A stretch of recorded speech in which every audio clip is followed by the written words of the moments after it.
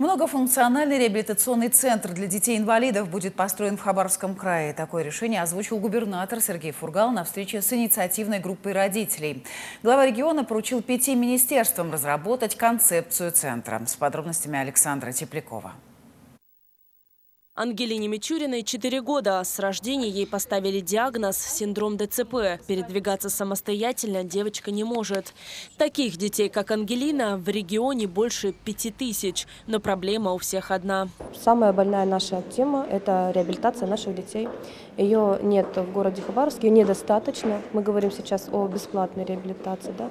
А, в городе ее нет. Сегодня с просьбой решить проблему с медицинским обслуживанием инициативная группа родителей, которые воспитывают особенных детей, обратились к губернатору региона. Сергей ну, Иванович, чтобы вы так. понимали, мы элементарно готовы ездить даже в чужие страны, то же самое Китай. Матери там находятся по 6 месяцев, бросая свои семьи, бросая других детей, в поиске вот этой вот пилюли, которая поможет ребенку встать.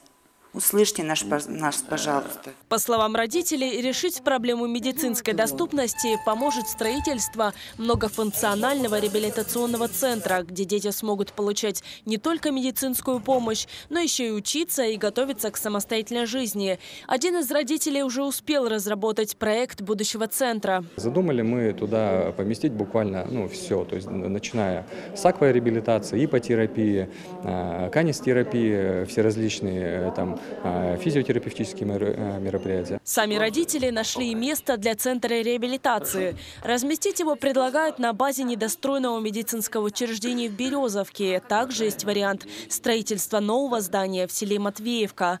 Более тщательно разработать концепцию центра губернатор Сергей Фургал поручил пяти министерствам. Это необходимо сделать за один месяц. По мановению волшебной палочки он все равно не появится. Нам же нужно еще понять, кроме здание, проработать четко, какое оборудование нам нужно, сколько это будет стоить, где мы найдем специалистов, что это будут за специалисты э, и так далее, и так далее, и так далее. Подобного многофункционального центра для детей-инвалидов на Дальнем Востоке нет. Его строительство может обойтись в сумму больше 1 миллиарда рублей. Александра Теплякова, Павел Павлов, телеканал «Губерния».